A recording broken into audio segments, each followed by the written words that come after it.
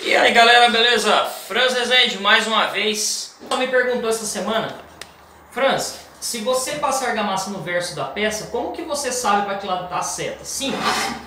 Pega um pouquinho de argamassa, marca o sentido na parte da frente. Esse sentido aqui, pessoal, fica para cima, tá? Então aqui fica fácil. Mesmo que você passe a argamassa no fundo agora, você já sabe qual é o sentido dela. A mesma técnica que a gente usa no curso. Argamassa direto na peça como ali já tem uma camada de AC3, como ali já tem uma, camada de AC3, em contato com essa aqui, ela vai dar uma boa aderência.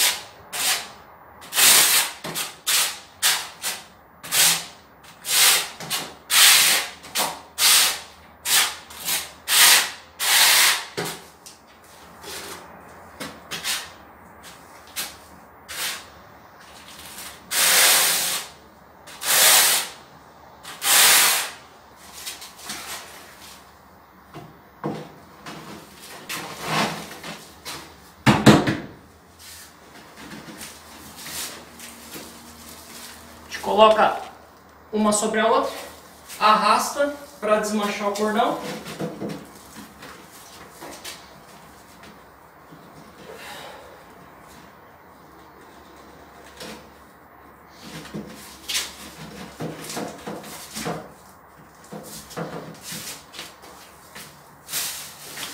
E aqui, galera, nós estamos e aqui nós estamos reutilizando aqueles clipes quebrados, aqueles clipes que a gente usou no chão, aquele clipezinho de um, a gente usa agora como junta, beleza?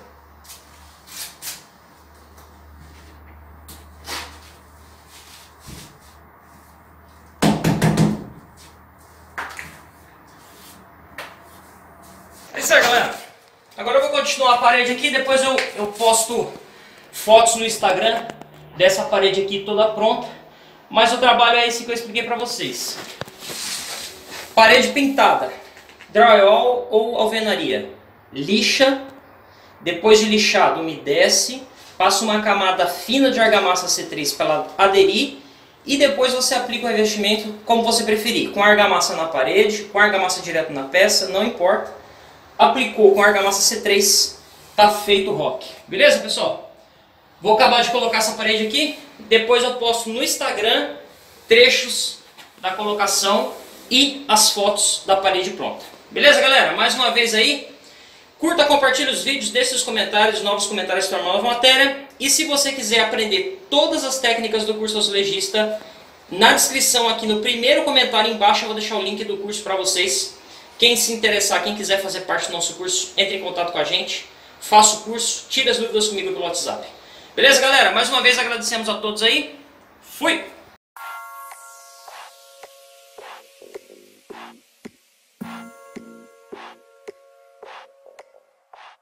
Vou marcar aqui. Lembrando, pessoal,